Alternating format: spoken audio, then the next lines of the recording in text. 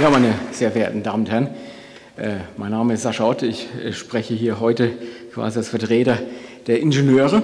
Wir haben ja bislang die, ja, den Gesamtblick gehabt auf die Mobilitätsentwicklungen, auf die Dynamik ähm, und was damit auch gesellschaftlich ein Stück weit einhergeht.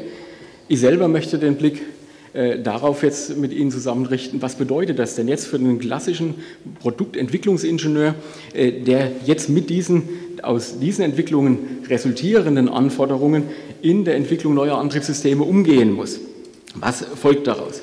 Ja, und wenn wir da einfach mal die Perspektive zunächst mal äh, der deutschen Fahrzeugindustrie, und das ist nun mal ein wichtiger Faktor in dem ganzen Player, ist nun mal die Fahrzeugindustrie nach wie vor. Ähm, dann gibt es da gewisse Motivatoren, die letztendlich die Antriebssystementwicklung äh, ja, massiv beeinflussen. Der wichtigste Motivator im Moment aus dieser Sicht ist ganz klar die CO2-Entwicklung. Ja, CO2 kostet einfach massiv Geld, damit muss man umgehen. Ja, das ist eine gesetzliche Vorgabe und das erzeugt also einen gewissen Innovationsdruck. Auf der anderen Seite äh, ist es klar, haben wir so Long-Term-Themen wie äh, Verfügbarkeit der Energieträger, Verfügbarkeit der Kraftstoffe, die natürlich immer, äh, also wurde schon angesprochen, seit den 70er Jahren zumindest im Bewusstsein sind. Ähm, aber es kommen ganz viele andere Themen dazu, wie eben neue Nutzwerte, die ich eben auch mit neuen Antriebstechnologien schaffen muss, wenn ich entsprechende Angebote, ähm, Services äh, darstellen will. Ja. Darauf möchte ich jetzt im Folgenden eingehen. Ja, Herausforderung CO2, hier ein Ausschnitt aus dem viel zitierten Kyoto-Protokoll, ähm, ohne jetzt äh, auf die Details einzugehen, auch mit Blick ein bisschen auf die Uhr. Es folgt aber sehr schnell äh, die Ableitung für unsere äh, Situation in der Antriebsentwicklung. Wir sind letztendlich in der Pflicht, äh, hier letztendlich europaweit gesehen, weltweit mit 95 Gramm CO2 die hier für 2020 vorgegeben sind, als äh, Flottenverbrauch voranzugehen. Ja, ich weiß, dass diese Zahlen natürlich ein Stück weit diskutabel sind, einfach weil sie sich auf Zyklen beziehen und nicht auf den Real-World-Verbrauch, aber es ist letztendlich mal ein Zielkorridor, in dem man, äh, mit dem man arbeiten kann, auf den man hinarbeiten äh, kann stellt sich die Frage, was sind denn die Antriebstechnologien, äh, die dazu jetzt führen? Wir haben in den Vorgängervorträgen schon immer wieder mal Elektromobilität gehört, der Wasserstoff von Toyota wurde schon zitiert. Ja, ich habe mal so einen kleinen Überblick gebracht dessen, was die sagen wir, Stand der Technik verfügbar ist und die Frage gestellt, welches ist denn der CO2-minimale Antrieb? Ja, der Toyota sagt ganz klar äh, in der neueren Strategie Wasserstoff mit Brennstoffzelle. Also ich stelle quasi elektrische Antriebsleistung zur Verfügung, indem ich Wasserstoff als Energieträger mit hineinnehme und damit eben ja, äh, nicht mehr auf batterieelektrische Fahrzeuge in der Elektromobilität setze. Ähm, das hat im Übrigen äh, neben der Reichweitendiskussion auch ganz klar leistungsdichte äh, Elemente. Komme später noch darauf zurück. Vollbatterieelektrische Fahrzeuge, wie vor einigen Jahren, als ja, die Substitutionslösung für den konventionellen Verkehr äh, ja, quasi definiert und angepriesen. Sind es Range-Extender-Fahrzeuge, wie wir es heute bei BMW zum Beispiel sehr stark äh, sehen, also sprich Fahrzeuge, die batterieelektrisch äh, dargestellt sind in der Antriebs, äh, von der Antriebsseite her, aber deren begrenzte Reichweite durch ein zusätzliches Notstromaggregat an Bord, also wenn die Batterie leer ist, ich entsprechend über einen Verbrennungsmotor ähm, äh, und einen Generator dann zusätzlich Strom erzeuge, äh, um dort voranzukommen. Das klingt vielleicht mit Blick auf die Mehrfachenergiewandlung zunächst mal total unsinnig, aber es ermöglicht komplett neue verbrennungsmotorische Konzepte, die dann in der CO2-Bilanz wieder sehr viel besser sind, wie jetzt ein komplett äh, so ein Verbrennungsmotor, der die komplette Reichweite und Antriebsleistungsspektren eines Fahrzeugs abdecken muss. Sind es Hybridantriebe? Wo ich beides an Bord habe. Klar ist der Range Extender auch ein Hybridantrieb. Ähm, der Hybrid ist letztendlich nur so definiert, dass ich zwei unterschiedliche Energiequellen ähm, und äh, Kraftmaschinen an Bord habe. Der Hybridantrieb ermöglicht mir funktional betrachtet vor allen Dingen eins, ich kann sehr viel mehr Funktionen sehr viel präziser darstellen. Ich kann Getriebe mit faktisch unendlich vielen Gängen bei gleichzeitig sehr hohem Wirkungsgrad realisieren, sodass ich meine Verbrennungskraftmaschine immer in einem sehr guten, wenn nicht sogar im optimalen Betriebspunkt betreiben kann, was ich mit konventionellen äh, Systemen äh, zumindest nicht in dem Wirkungsgradbereich ähm, ja, darstellen kann. Ja, oder ist es, wenn man die gesamte Energiekette betrachtet, äh, nicht letztendlich doch äh, wieder der klassische Verbrennungsmotor, der dann irgendwann am Ende dieser momentan in Richtung Vielfalt gehenden Entwicklung äh, dann wieder stehen wird.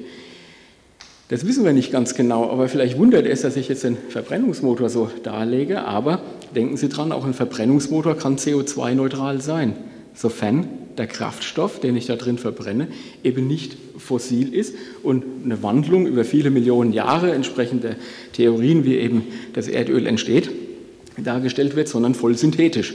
Ja, also auf chemischem Wege, auf Basis von regenerativen Energien dargestellt, habe ich hier durchaus Möglichkeiten, einen, ähm, ja, eine Antriebsleistung zur Verfügung zu stellen, die über den, die gesamte Energiekette betrachtet, über den gesamten Zyklus betrachtet, CO2-neutral sein kann. Aber klar, nicht lokal emissionsfrei.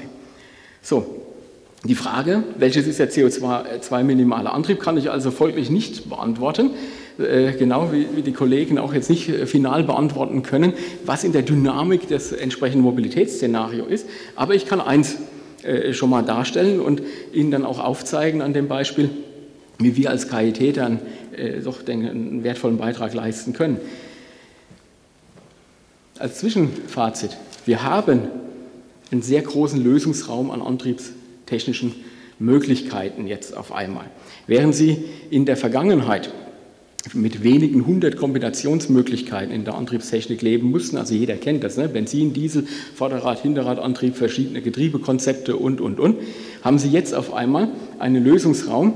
Wir haben das mal für einen ganz äh, klassischen äh, Pkw äh, einfach mal ermittelt. Äh, durchschnittliche äh, ja, sagen wir, durchschnittliche Funktionalität im Sinne von, von Verbrauch, Reichweite etc., so wie man das heute nach so einer Euro 6-Norm äh, dann darstellen würde. Da kommen Sie auf Realisierungs, äh, eine Realisierungsanzahl von ungefähr 100 Millionen Varianten, die darstellbar sind. Da stellt sich die Frage, da stellt sich die Frage, wie erkenne ich jetzt als Produktentwickler, was ist denn eigentlich überhaupt der Antriebsstrang, der wirklich optimal ist? Die Industrie hat den entscheidenden, das entscheidende Problem damit, das zu erkennen, da die gesamten industriellen Entwicklungsprozesse an der Stelle auf Erfahrung basieren. 125 Jahre noch länger Erfahrung in dem Bereich sorgen dafür, dass man ein Stück weit auf diese Erfahrung aufbauen muss. Ganz klar, die kann man nicht über Bord werfen, um Gottes Willen, aber man muss um diese Pfade zu verlassen, ganz neue Modellvorstellungen in die Köpfe der Menschen bringen. Sie müssen ganz neue Entwicklungsmethoden darlegen, damit sie überhaupt diese Rekombinationsvielfalt äh, ihnen ja, äh, so fokussieren, dass sie dann auch das erkennen, was ihnen das beste Potenzial bietet. So, das ist der eine Strang. Ja, da werde ich gleich nochmal drauf zurückkommen. Dann gibt es aber ganz kurz eingeschoben nochmal einen zweiten Strang, der jetzt in, bei den Vorrednern sehr stark dargelegt wurde, nämlich die Mobilität als Trend im Sinne, es gibt eine Entwicklung hin von, ich nutze Mobilität, ich bin Mobilitätsnutzer, ich bin Fahrzeugnutzer und nicht mehr Fahrzeugbesitzer. Ja, deshalb hat es eine ganze Reihe von Mobilitätsdienstleistungen, Carsharing wurde sehr intensiv angesprochen, intermodale Systeme wurden angesprochen. All, das Ding, all diese Dinge sind Services, wie ich es hier genannt habe, die also im Widerspruch ein Stück weit stehen zum klassischen Fahrzeugkonsum. Wieso stehen die im Widerspruch? Naja, sie verändern auf jeden Fall was. Ja, ich habe auf einmal nicht mehr einen Fahrer, wenn Sie sich ein klassisches Carsharing-Modell, wie jetzt hier in Karlsruhe ja sehr schön etabliert anschauen. Sie haben viele Fahrer. Ja, viele Fahrer bedeutet aber auch, das hat technologische Konsequenzen für meinen Triebstrang. Ja, ich möchte jetzt ein paar Beispiele machen. Ich habe hier hingeschrieben Zeitvariante Menschkalibrierung. Das klingt etwas merkwürdig, der Begriff, ist aber ein Fachausdruck aus der Psychologie. Die Zeitvariante Menschkalibrierung sagt nichts anderes aus, als ähm, dass wenn Sie ihn als Fahrer ein Fahrzeug benutzen, Sie sich an dessen Eigenschaften ein Stück weit gewöhnen. Sie haben eine Erwartungshaltung, wenn Sie wieder in das Auto einsteigen. Ja? Und ich kann es mal an einem konkreten Beispiel machen, wie das bei Carsharing auf einmal anders ist. Ja? Auch das äh, plakatives Beispiel, aber live erlebt hier in Karlsruhe. Nagelneue Kleinwagen, ich sage die Marke mal nicht. Man steigt ein und als jemand, der es gewohnt ist, Antriebsstränge auch äh, unter Schwingungskomfortaspekten zu bewerten, fährt man damit und sagt, oh, das ist ein toller, ein toller Triebstrang. Haben sie schön gemacht, die Kollegen. Zwei Wochen später, gleiches Fahrzeug. Sehr viel mehr Fahrleistung, also im Sinne von Kilometer, auf dem, äh, also ne, entsprechend schon abgefahren. Klar, das Fahrzeug ist ständig im Betrieb, wieder ins gleiche Auto hinein. Man fährt und denkt, um Gottes Willen, das ist ja ganz anders als vor, vor zwei Wochen noch. Das fällt Ihnen als Normalnutzer in Ihrem privaten Pkw gar nicht auf, weil das ein schleichender Vorgang ist. Das hat was mit äh, irgendwelchen Veränderungen in den Kunststoffen äh, äh, zu tun, bei den äh, Veränderungen bei den Motorlagern etc. Das Geräuschverhalten ist auf einmal ein anderes. Aber aufgrund der großen Kilometerleistung die dazugekommen ist zwischen ihrer ersten Fahrt und der zweiten Fahrt und die noch nicht vergessene Erwartungshaltung, bemerken Sie das auf einmal. Das ist den Fahrzeugherstellern, wir haben da auch entsprechende Erhebungen gemacht, wir haben mit den Fahrzeugherstellern gesprochen, ist das durchaus bewusst das Problem, aber dadurch, dass diese Fahrzeuge für Carsharing-Applikationen noch nicht die, den Marktimpact haben, wir reden über wenige tausend Fahrzeuge im Moment noch, ist es natürlich noch kein Entwicklungsziel an der Stelle. Gleichzeitig will man natürlich auch nicht eine äh, äh, Carsharing-spezifische Variante auf den Markt bringen. Ja, der eine oder andere erinnert sich vielleicht an die Taxi-Variante vom Daimler. Das will man heute nicht mehr, ja, weil man ja natürlich dann mit suggeriert, dass der Normalkunde eigentlich ein schlechteres Auto äh, kauft, was natürlich nicht wahr ist. Das ist nur ein anderes Nutzerprofil, ein anderes Anforderungsprofil. So, damit muss man aber lernen umzugehen. Und das hat einen weiteren Impact.